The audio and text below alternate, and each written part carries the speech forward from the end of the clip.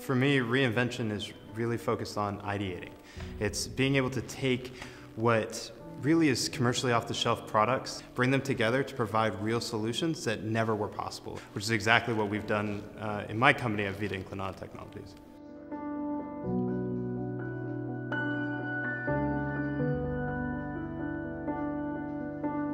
About 10 years ago, a friend of mine went down with cardiac arrest and we called the Oregon National Guard to come rescue him. When the helicopter arrived, the basket that they were lowering down to us below was swinging back and forth, unable to get through the trees. And after multiple attempts, they eventually called off the mission and we called time of death. We took that problem and then went to the military and said, is this a systemic problem across all search and rescue operations? And in fact it was. 24 people every single day are either killed or injured because of it.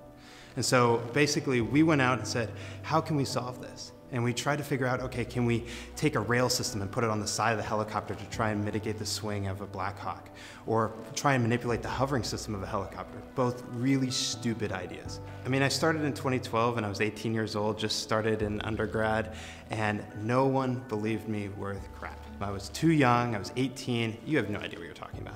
These are the DoD, this is the military, this is the Lockheed Martins, the Boeings of the world. They made absolutely no sense, just get out. And that's exactly what it was until 2018. We had nothing, and we just continued to struggle bus it for years upon years upon years. And then finally, when I was 25, we were able to actually build something, which was basically a black box with red fans that we said, oh, it turns on. But then we put it on a Robinson 44 aircraft and actually said, oh, wait, it actually can do something. And then that's when it hit. every investor, every the military, the U.S. Air Force, the U.S. Army, all came together basically saying, holy crap, you've got something. It doesn't matter that you're 26 years old. It doesn't matter that you're able to have this kind of thing and actually face the giants that are the big OEMs of the world. But it's now, hey, how do you take this ideation and then execute on it? How do you roll it out? And that's exactly where everybody started to jump on the team because now it moved from disbelief to belief.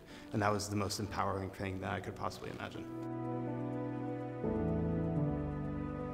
Normally in today's society, people are going to tell you the three common things, especially in startups. Perseverance, willingness to fail, courage, all that kind of stuff. But for me, it was legacy.